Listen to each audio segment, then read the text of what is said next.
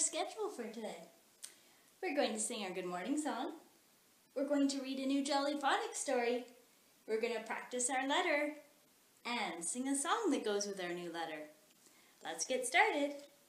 Good morning to you. Good morning to you. We're all in our places with bright shining faces. This is a good way to start a new day.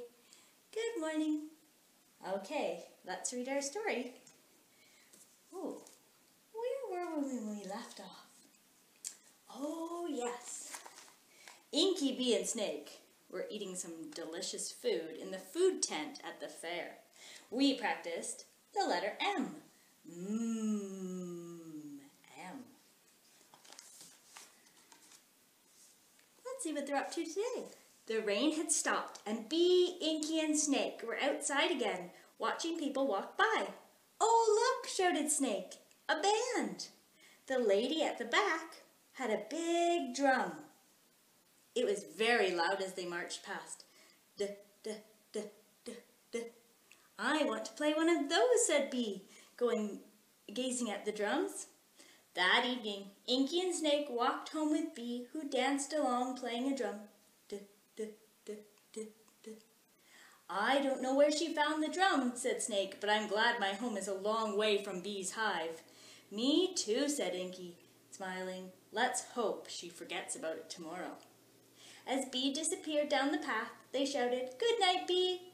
Then Inky turned to Snake. Good night, Snake. See you in the morning. I hope you have a quiet night. Can you spy the letter for today? There it is. What's the name of that letter? That's a D. A letter D. Let's explore the sound the letter D makes. In the story, they said the letter D sounded like a drum. I have a drum over here.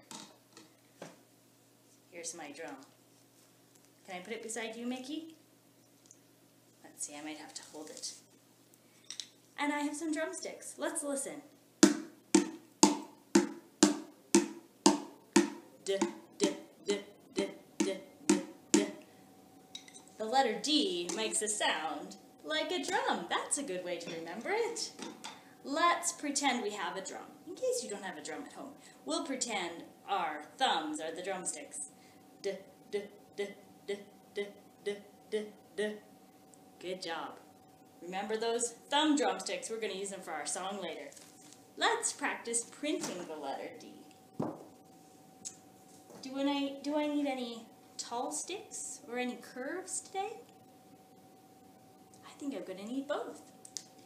First, we're going to start with a circle around, just like the round top of our drum.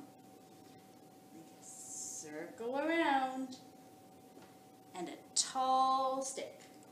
Start at the top, way up high for this one. Make a tall stick like a drumstick.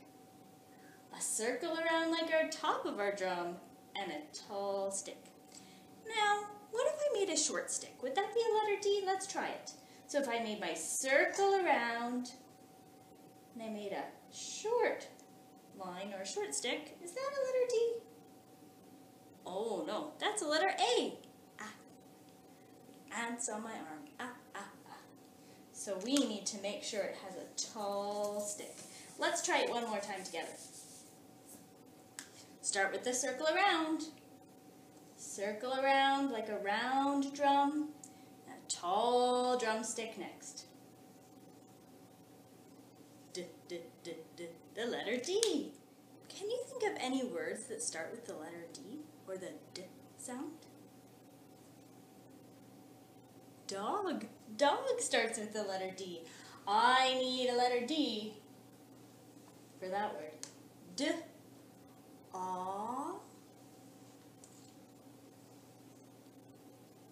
G. G. G. G. G.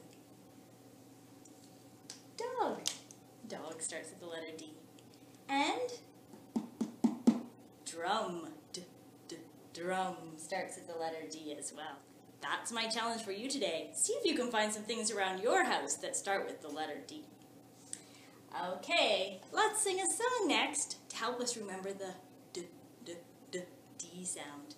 Remember I said we need those drumsticks again. Get out your thumb drumsticks and pretend you have a big drum. Ready?